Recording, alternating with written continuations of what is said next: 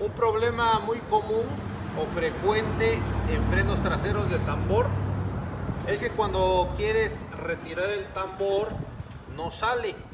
Y esto se debe a que el tambor en la parte donde está la pista donde trabaja la balata le hace un pequeño desgaste. Entonces conforme pasa el tiempo tú vas calibrando y la balata se va acercando al tambor.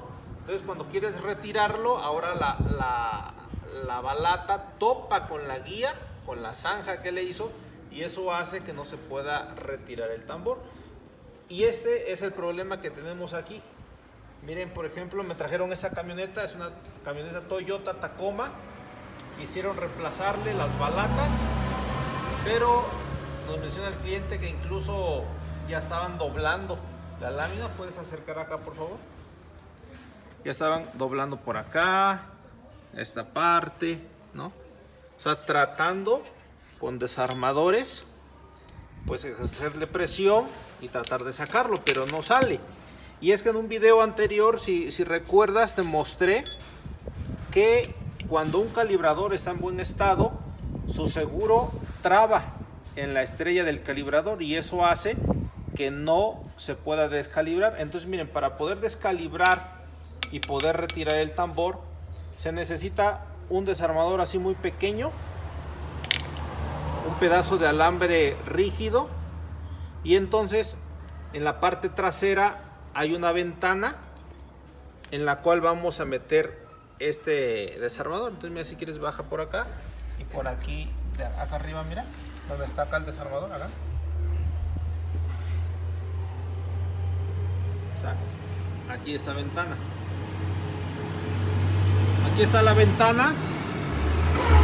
Entonces lo que tenemos que hacer es meter el desarmador y obviamente como no se ve necesitamos sentir el seguro del calibrador y empujarlo.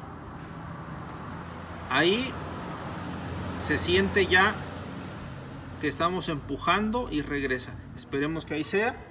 Entonces con un desarmador este yo lo hice aquí en casa, es un pedazo de varilla y le doblé nada más. Entonces empujamos el seguro del calibrador y con este vamos a intentar descalibrar.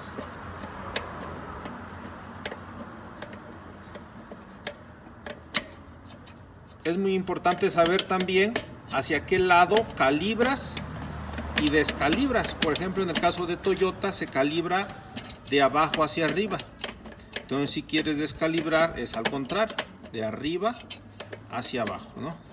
Entonces ahí se siente, esperemos que le hayamos acertado a la primera. Y ahí lo que estamos haciendo es metiendo el calibrador en su guía. Se está cortando, ¿no?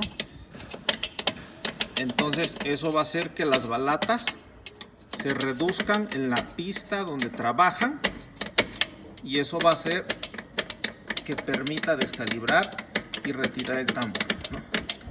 Muy bien, sacamos el desarmador. Ahora sí, venimos de este lado, por favor.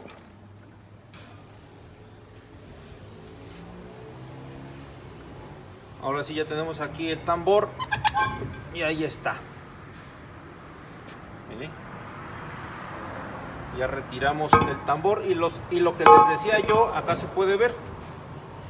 Acá está la pista donde trabaja la balata y en la parte ya final del tambor tiene una pequeña ceja. Entonces esa ceja es la que no permite sacar el tambor libremente. Aquí tenemos el calibrador y su seguro. Entonces nosotros lo que hicimos fue lo siguiente. Aquí tenemos el desarmador. Lo metimos aquí por la parte trasera. Y miren. Acá se puede ver. Ajá, ahí. Hicimos esto, miren. Empujamos y entonces el seguro del calibrador deja de agarrar la estrella, ¿no? Empujamos y ahora con el con el desarmador o esta pieza sí ya se le puede dar, miren. Y así. Y ahí estamos metiendo el calibrado. Entonces de esta manera tan práctica es como la que podemos descalibrar. Aquí por lo que veo hay un problema también. Las balatas tienen rastros no de líquido.